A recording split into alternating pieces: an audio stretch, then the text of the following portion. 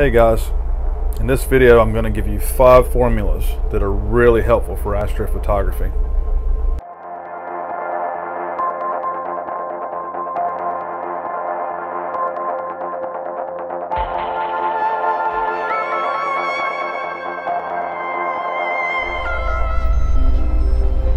Okay, so check this out.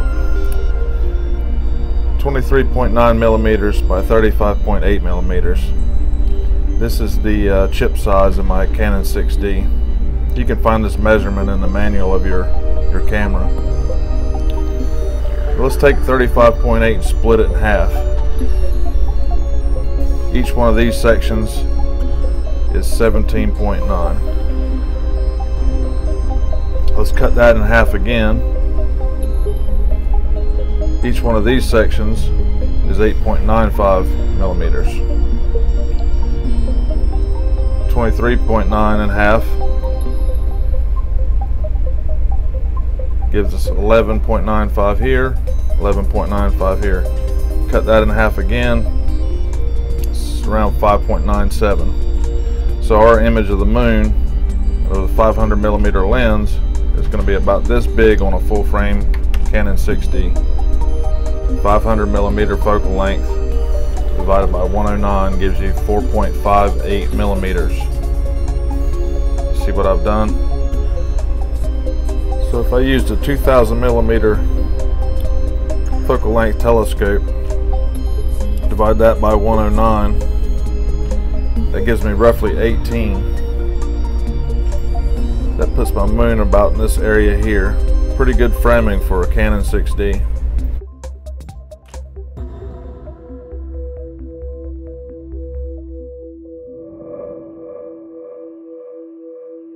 Going to use the uh, Canon 6D again as a reference. 23.9 millimeters by 35.8 and we're going to assume a 500 millimeter objective lens. So I take 23.9 divided by 500 and that's in millimeters. Multiply that by 57.3 and I get 2.73 degrees.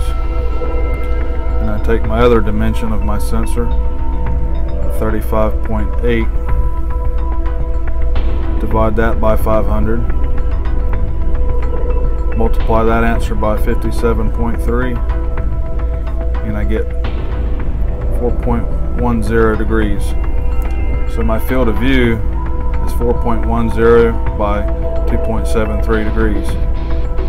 Check this out. Let's break this up into one degree sections and let's just call this a three. So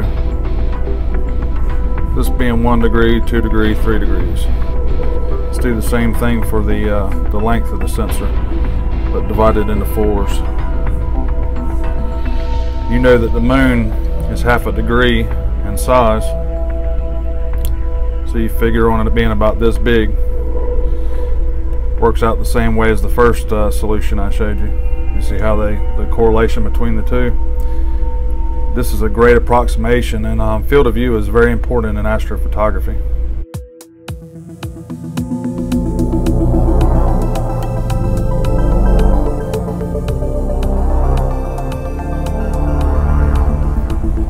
Okay, this is pretty cut and dry. You might be wondering where this number 50 comes from. On a full frame sensor, 50 millimeter is roughly equivalent to human vision, so it's also the basis for division for figuring uh, magnification on an object on the sensor. But if you use this formula and you're using a, a crop sensor, the Canon crop sensor accounts for 1.6 times. So take your focal length times 1.6 in this case the 500 you end up with 800 millimeters divide that number by 50 and you get a magnification of 16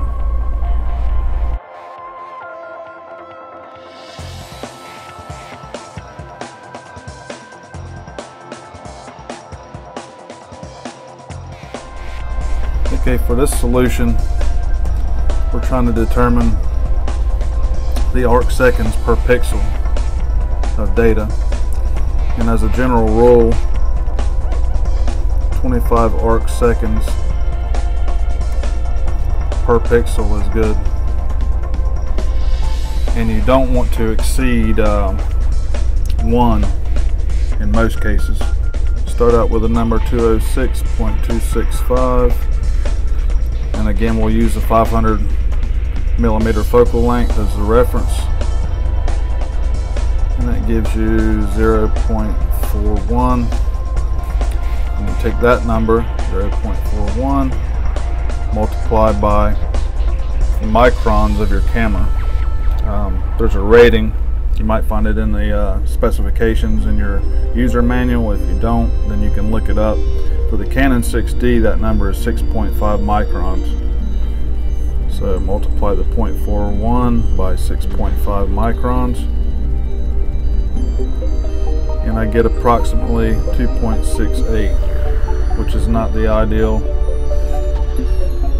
arc seconds per pixel for this camera sensor. Now let's see what happens if I take this same number, 206, 265, divide by 2000. That gives me 0.1031, or just 0.1, whatever.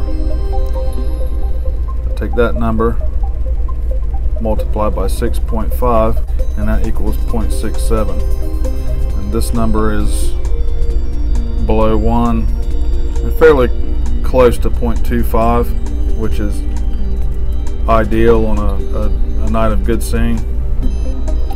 So to get optimal resolution, I'm going to be somewhere around a 2000 millimeter focal length using a Canon 6D in prime.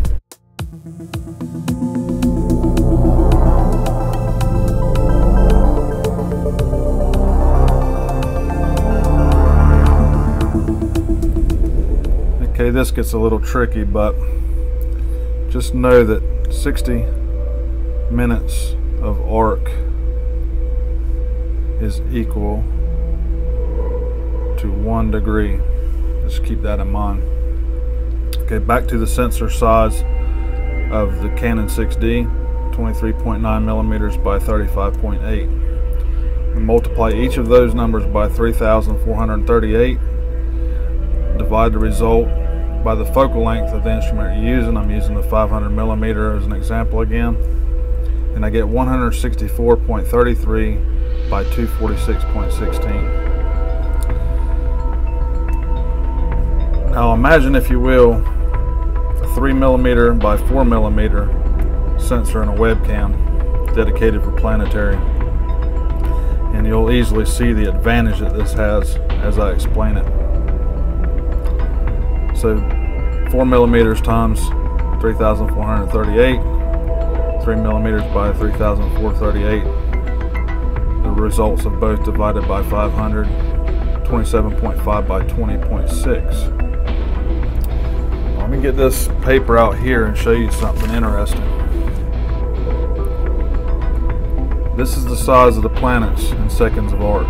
Mercury's 4.5 to 13 even Jupiter at 50.1. Look at these numbers again. Figure a Barlow into this system, you get a lot closer to uh, these numbers here. And that's how you're going to work out your field of view and minutes of arc. It's a little difficult at first, but uh, if you run your numbers through it and you look at, at these numbers here, you'll quickly see why a smaller image sensor is better for planetary.